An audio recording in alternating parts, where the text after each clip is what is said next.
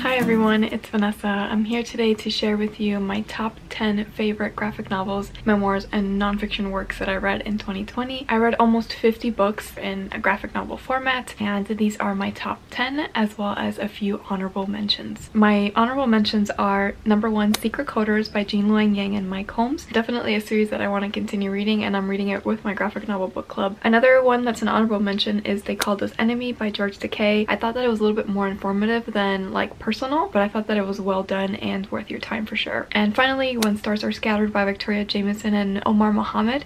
This is a book that focuses on Omar Mohamed's time in a refugee camp with his brother who has special needs. They finally win the lottery and what that process is like before they end up in the United States. So let's start with my list. Book number 10 is Go With The Flow. This is a book about period equality and it focuses on a group of four girls in school as they each have a different experience with their period. I just thought that the friendship dynamic in it was really well done, but also that shows you the power of standing up for something that you believe in and using your voice. And I really, really enjoyed the artwork as well. Number nine, I'm kind of combining two books that I read by the same author and in the same universe, and that is New Kid and Class Act by Jerry Craft. These two are books that look into the main characters we're following, Jordan in the first book and Drew in the second book, and the classmates that they encounter at their school that is predominantly white. It's also about the experience of how teachers talk about them to their face and behind their back and just the challenges and perseverance of kids of color in schools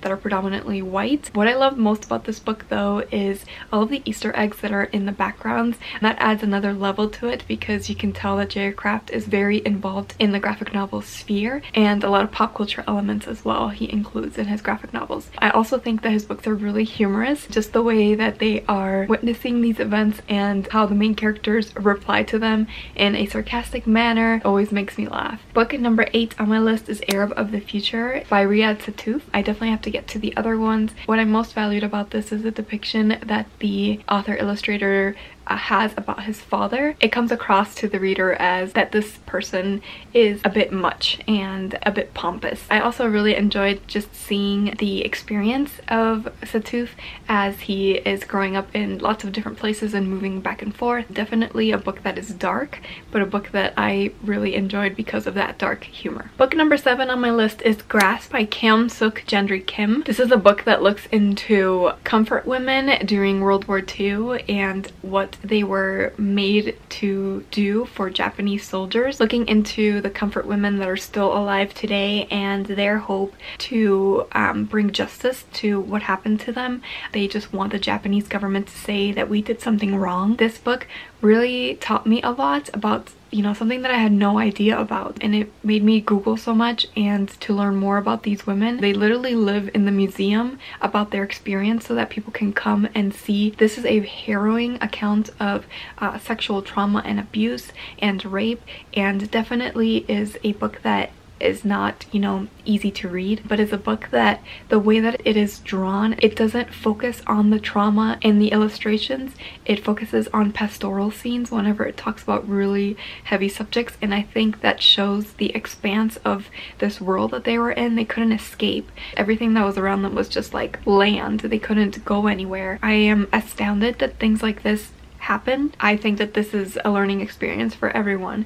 If you don't know anything about this, this is definitely a great way to start to get to know what these women went through. Book number six on my list is Snapdragon by Kat Leyh. This is a magical but at the same time grounded in real life graphic novel about a girl who's really interested in things that people in her town are necessarily interested in like taxidermy and animals that are dying. She meets a witch in her neighborhood and starts learning how to take care of these dying animals and what to do with their bodies after the fact um, to honor them and still be able to use them. It uses that experience to teach you about this witch that is kind of an outcast and a loner to show you the history of that person and how both of these families are connected through history. I thought this was a really imaginative graphic novel, one that made me smile reading it just because of the whimsy and the characters and how they bond and grow through the graphic novel. I especially just loved the bond between the two main characters and what this book has to say about gender and what has been acceptable over time. I really, really did enjoy this one and thought that it was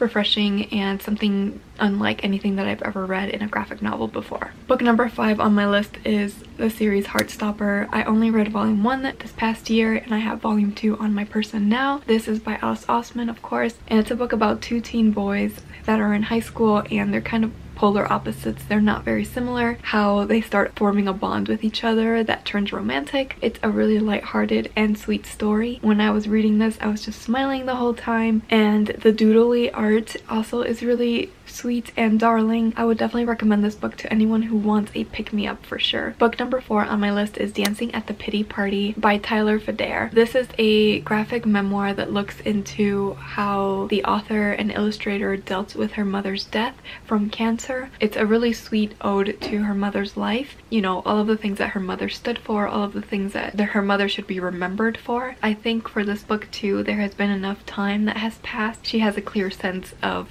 how her grief is going, how she feels about it now. I also really enjoyed in this book all of the depictions about Jewish customs when it comes to funeral rites, what that process is like. I really had no idea anything about how um, people who practice Judaism do any of that. It was really educational in that sense.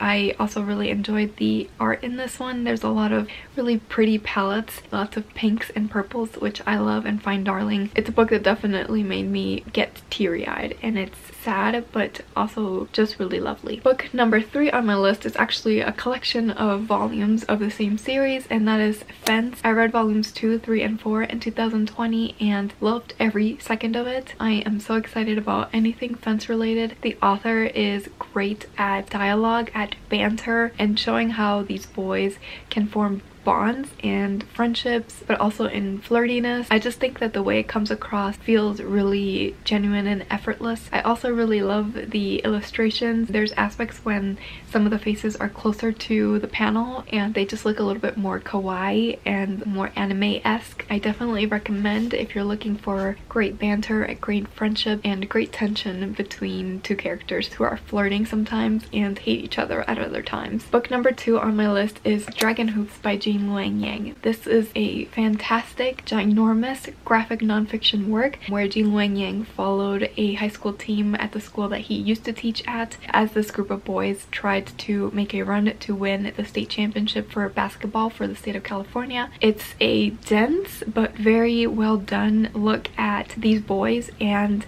how they see each other, how they ended up at this school. A lot of them don't have a background in Catholicism, um, so it's interesting to learn like how they ended up at the school. It's also an interesting look at basketball history, how over time basketball has developed. It's a great look at a lot of the things that may become obstacles as you're trying to win a championship. And it also has meta aspects where Gene Luen Yang looks at himself writing this book and thinks about his career and what it is that he wants to do as the next step. I definitely recommend recommend anything by Gene Luen Yang. I think he's one of my favorite illustrators right now and graphic novelists. He writes well, he draws well, and you can tell there's a true sense that he puts a lot of time and effort into his creations and his books, and I really value that from his books. Book number one on my list is Kent State by Derf Backderf, as you can tell, looks into the deaths of four students at Kent State in Ohio by the National Guard during the 70s as a result of tensions between the students on campus and the political infrastructure of Kent State at that time. So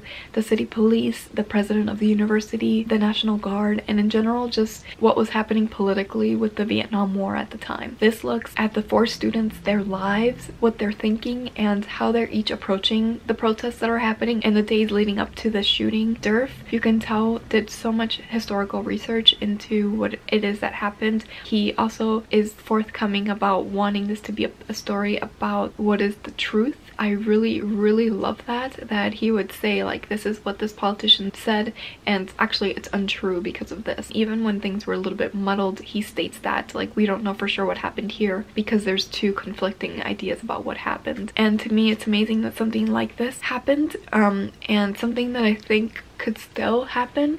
So I think it's definitely important to learn about like all of the things that led up to the situation. I learned so much reading this book and it sent me on spirals of doing a lot of internet research. The way it depicts, for example, Richard Nixon, I also found really fascinating. I just think this book is damning and sharp and critical exactly where it needs to be. Definitely would recommend this. This is another denser one like Dragon Hoops, but one that I thought was really magnificent and well done. That is it for my top 10 favorite graphic novels and comics of 2020. If you read any of these or would like to read any of these now that I've talked about them, please let me know in the comments and I'll see you in my next video.